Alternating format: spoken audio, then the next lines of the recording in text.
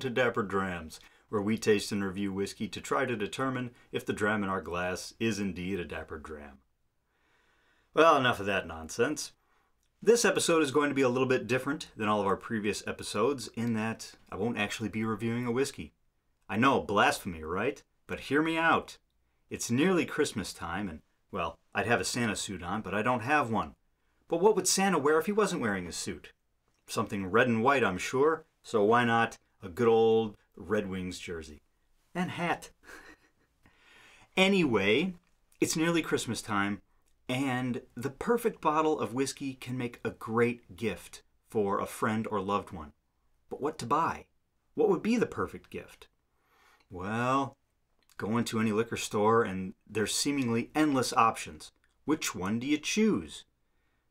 Well, Dapper Drams is here to help you out with your conundrum. I'm going to be giving you my top picks for the best Irish, American, and Scottish whiskies out there.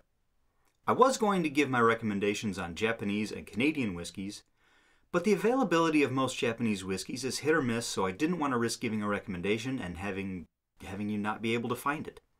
And as far as my Canadian whiskey uh, recommendations go, I honestly don't have very much experience with Canadian whiskeys to give a wide range of options with that. So we'll stick with what I know Irish, American, and Scottish whiskeys. Now, before I give my picks, I wanted to mention that I put several restrictions on the bottles that I decided to pick. First, it must be a bottle that is fairly ubiquitous. I could rattle off um, dozens of amazing whiskeys out there that you'll probably never be able to find either because of uh, lack of availability, rarity, or maybe it's only available in certain countries and not this one. Wouldn't be very fair to give a rec- recommendation on a bottle you could never buy. Secondly, is price. Again, there are whiskeys out there that would make you fall to your knees in olfactory ecstasy, but it would put you in the poorhouse at the same time. So let's keep things reasonable. Third is taste. If you knew that the bottle that you were buying was going to someone who loved Jack Daniels, well, then buy them Jack Daniels. Go with what you know they love. But if you don't know what they love, you don't want to risk getting them something that they're going to hate. And then they'll go, oh, yeah, well, I tried it and I didn't really like it, but eh, thanks anyway. And then it just sits on their shelf for another year, and you look like someone who doesn't know anything about anything. So I'm going to keep things fairly friendly as far as the palate goes. No outrageous flavors, uh, especially like peat, which is a very controversial flavor. Most people don't seem to like it. Some do. And if you know that you're buying for a peat head, like myself, feel free to get something peated. But most people don't, so we'll stick to the more friendly options. And fourth, these must all be bottles that I personally have tried. I could go on and on about the, the great things that I've heard about this whiskey or that, but if I haven't tried it, I'm not going to recommend it. First up are my top three Irish whiskies. First up is Jameson. Now, everybody who drinks Irish whiskey has tried Jameson. Whether they like it or not, that's hard to say, but it would make a good gift. Now, instead of recommending the standard version, which I have here, I would actually recommend the Caskmates version um, specifically the IPA uh, IPA cask version. Um, it's a step above the standard version, and it provides a more robust and exciting palate. And to top it off, it's only about five dollars more than your standard version of Jameson, and it should run you under thirty-five dollars. My next pick is the Teeling Small Batch. It's non-chill filtered, natural color, 46% ABV finished in rum casks. Um, it's a pretty uh, decent Irish whiskey and all for around $35. And I think that would make uh, an excellent gift whiskey. My last pick for Irish whiskeys would be the Redbreast 12 year old. Now, that bottle will run you, honestly, about double what the Jameson or the Teeling is going to run you. But uh, the sherry maturation that they use adds a pretty nice addition of flavors uh, and complexity above what the other two will give you. My first choice out of the three would be the Teeling, simply because you get a better value for money out of that one. But the Redbreast that would be the top one as far as actual taste is concerned. Next up are the American whiskeys. I decided to break this up into two categories above and below $40. First up for the quote unquote budget picks, which would be under $40, would be Maker's Mark.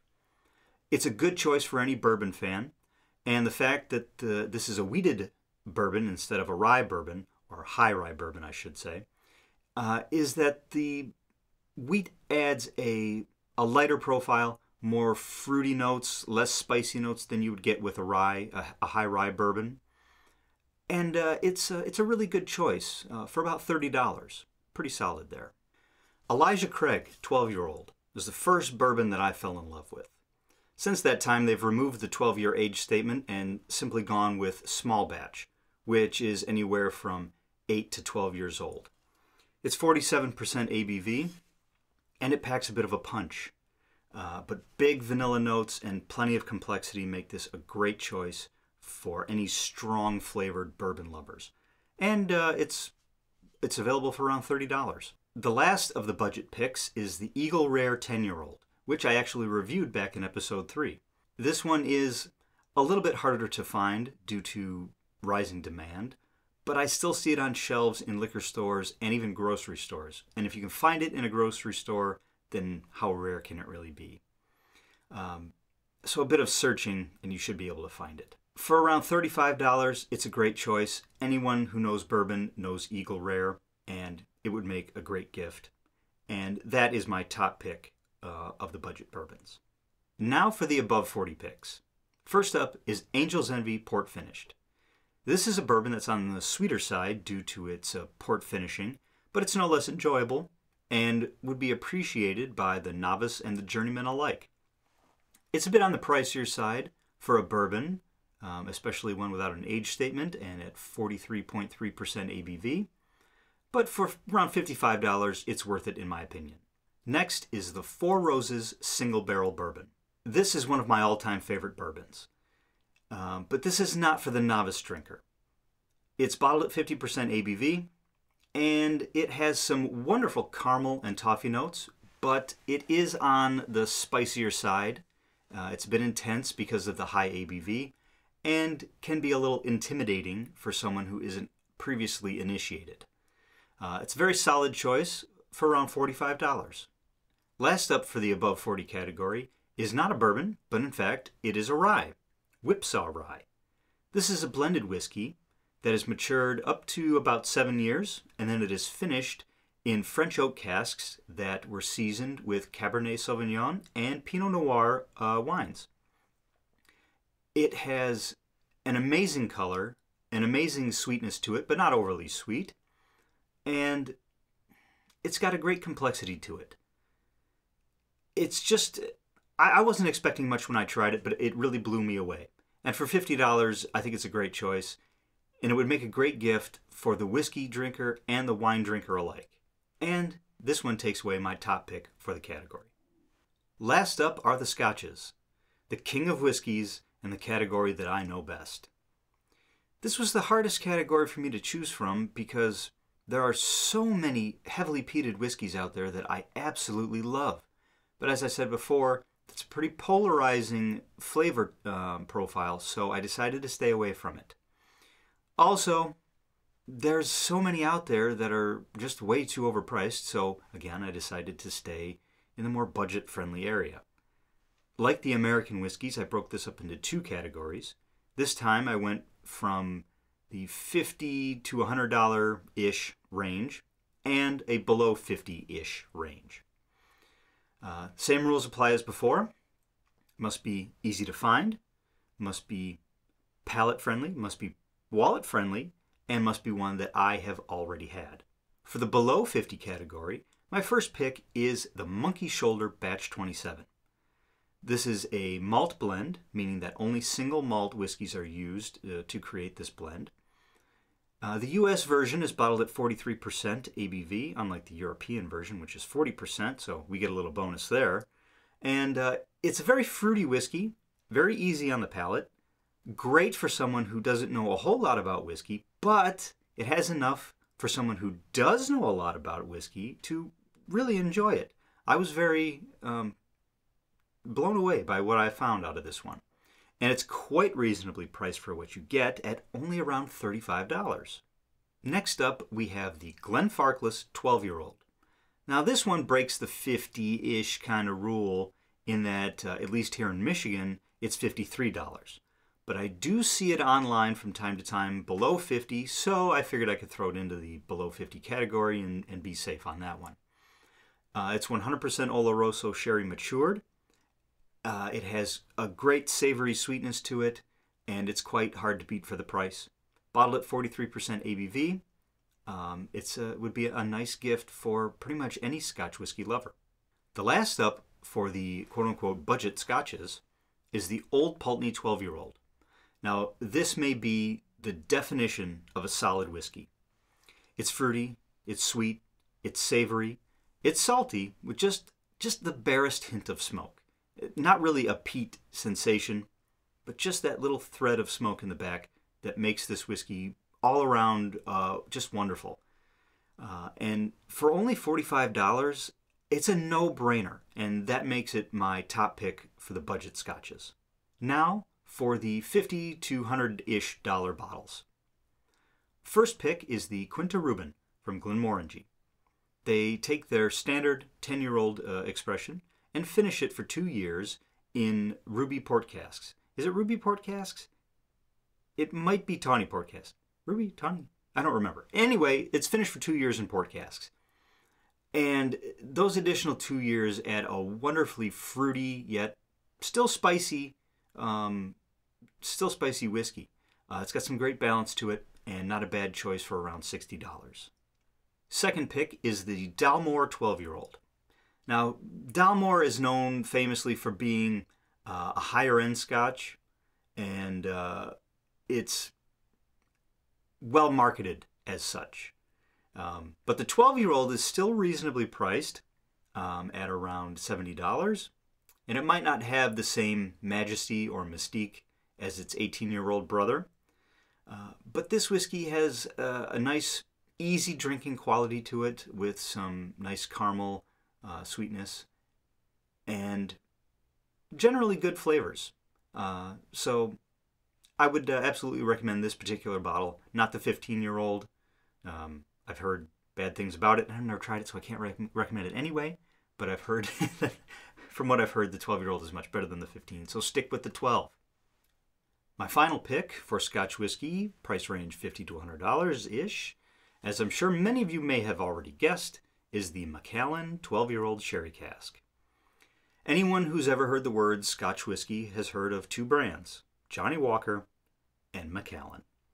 Now, I know a lot of people come down to Macallan for being overpriced for what you get, but when you're giving this as a gift, there might be no bigger status symbol than this juggernaut from Speyside. Uh, bottled at 43% ABV, there's lots of fruity sherry, plenty of wood spice on the palate, and enough hubris to go around. Uh, it's a great whiskey gift for the scotch drinker in your life, all for around 65 to $70, depending on where you're at. And just for fun and a little bit of a bonus, I figured I'd throw in my list of favorite peated scotches uh, in case anyone out there is buying for someone who they know is a huge peat fan. Uh, for the lighter side of peat, there's nothing wrong with a Highland Park 12 year old uh, for about $50. But if you want to go heavy peat, and if you're going peat, why not go all the way? Um, the Ardbeg 10 and Laphroaig 10 are excellent whiskeys, and you can find them very uh, regularly and affordably for around 50 to $55 each. The Lagavulin 16 year old is a favorite of many, many Scotch drinkers, uh, including the famous Nick Offerman, who plays Ron Swanson on Parks and Rec. Uh, and that one is a bit on the pricier side at around $100. Um, but Anyone who knows peated scotch knows Lagavulin 16 and would be very happy to receive a bottle. But my personal favorite of the uh, heavy peated uh, Scottish whiskies would have to go to the Ardbeg Corryvreckan. For around $90, you get one hell of a whiskey. Um, I believe it's bottled somewhere around 57.1% ABV. I, think that's right and uh, it's amazingly complex and smoky and my personal favorite for heavily peated scotches. Well, I hope this video was a big help for anyone out there considering giving the gift of whiskey this year. Um, if you have any picks that I didn't recommend that maybe you think would be a great idea, please post them below in the comments. Please try to follow the same rules. No unicorn bottles, no white whales, no crazy expensive bottles. Something you've tried, reasonably priced, easy to find, that you think would make a great gift. Well, that's all the time we have today. Please stay tuned for our next video, which will be a review video. And I have to say that um, what I have on deck is well worth the wait. Thank you for watching, and we'll see you next time on Dapper Drams.